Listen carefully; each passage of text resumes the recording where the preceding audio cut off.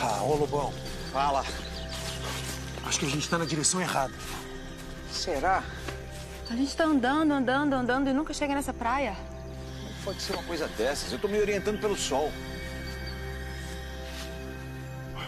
É muito estranho mesmo. Parece até magia, Parece até o quê? feitiçaria. O que tu tá querendo dizer com isso? Pode ser o Curupira? Curupira. Mas ele não tinha fugido com o Draco, o Tele e os outros? Não, não. O Curupira tá aqui na ilha, tenho certeza. Ah, tia, era só o que nos faltava. Um dinossauro. É ele mesmo. Eu tô sentindo o cheiro dele, tá vindo pra cá. A gente tem que se esconder, rápido!